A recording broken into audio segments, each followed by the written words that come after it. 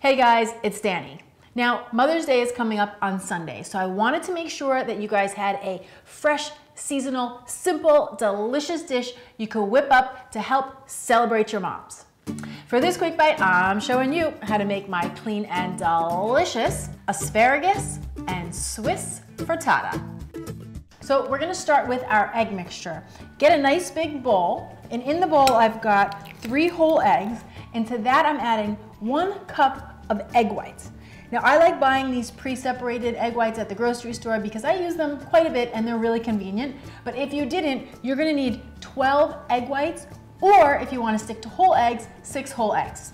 Then one tablespoon of milk and we're just gonna give that a quick whisk, break those yolks and bring everything together. Then we're ready for our cheese.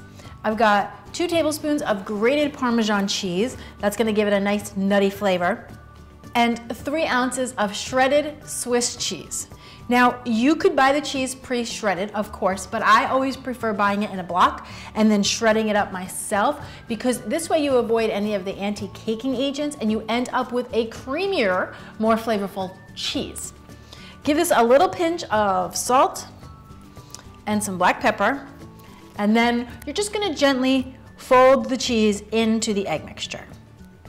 Once you've got your cheese folded into the eggs, you just wanna set that aside, and then the only other thing you're gonna need to do is get half of a chopped onion ready to go.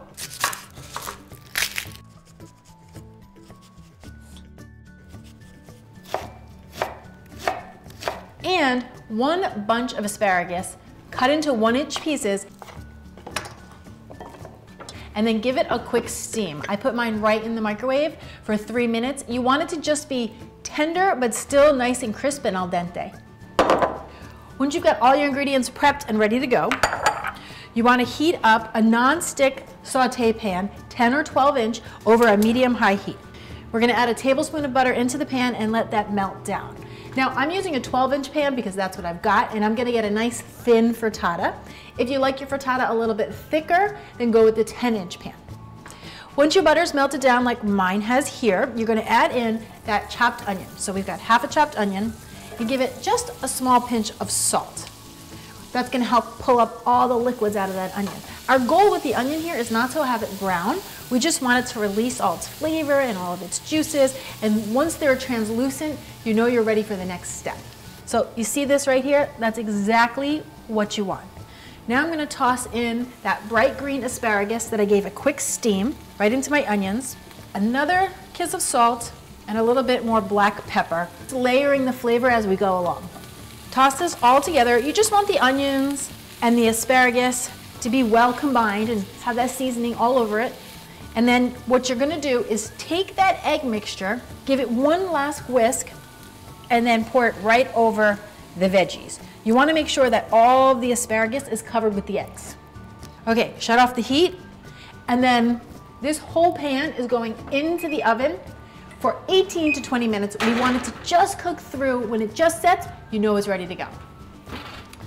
Now, if you guys wanted to put this all together to make a nice little buffet brunch for mom on Mother's Day, here's what you could do. You set out your uh, asparagus and Swiss frittata, a little simple green salad tossed with a nice light vinaigrette, some fresh fruit, and then of course, for good measure, my clean and delicious chocolate chip scones. All of that with some fresh hot coffee and your mom will be in seventh heaven.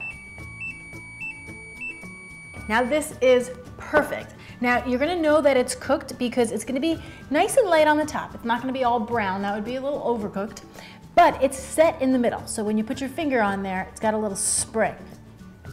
So we're just gonna give this a few minutes to cool off, then we'll loosen up the sides, slide it right out of the pan.